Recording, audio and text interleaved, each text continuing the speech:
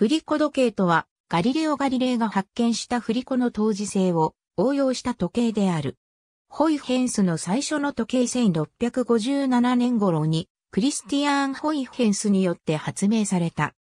改良を重ねながらも、発明から数世紀にわたって、最も正確な時計として用いられてきたが、20世紀に入って、より正確なクォーツ時計が発明されたことによって衰退した。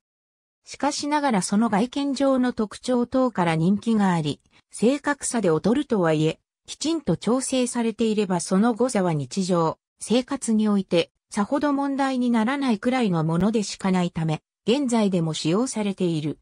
なお、現在ほぼ生産されておらず、クォーツ時計に飾りの振り子をつけ、古い調度品のスタイルを模した外見としたファッションのみの製品も現在は多く見られる。18世紀イギリスの時計職人、ジョン・ハリソンは、100日で1秒以内の誤差の振り子時計の製作が可能であると主張したが、当時は認められなかった。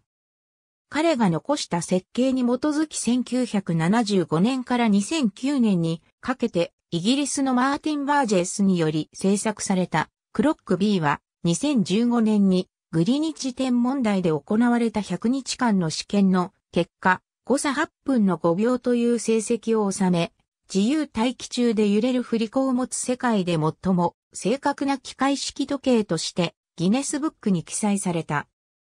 ゼンマイバネや重りの加工などを動力源とし、振り子の当時性によって調速される脱進機によって制御され、時を刻む。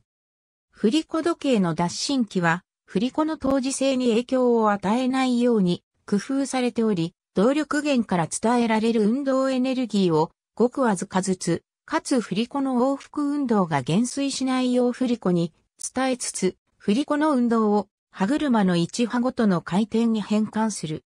ホールクロックオケ時計や、ホールクロック、時計台の大時計など、電気式以前の動力方式を用いていて、なおかつ添付などの他の超速機が使いにくい時計に幅広く採用されている。その重量のため、かかり時計としては脆い壁を避け柱にかけたことから、柱時計という語があった。同様、大きな小時計のモデルの時計もこの形式であるし、銅は、狼と7匹の小ヤギでも1匹が時計の振り子室に隠れるなど、今なお時計の伝統的な形として認識されている。飾りとして動く振り子がついたクォーツ時計が存在する。振り国道の消費電力がクォーツ時計の消費電力よりはるかに大きく振り国道と時計駆動の電池を共用すると時計としての電池寿命が振り国道に引きずられ短くなってしまうため振り国道と時計駆動には容量が異なる別の乾電池が用いられる。振り子の動作は時計の動作に無関係であり外部からの過度の振動や電池消耗などで振り子が停止していても時計として機能している場合が多い。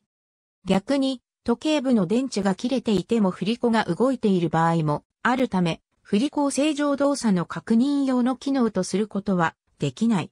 ありがとうございます。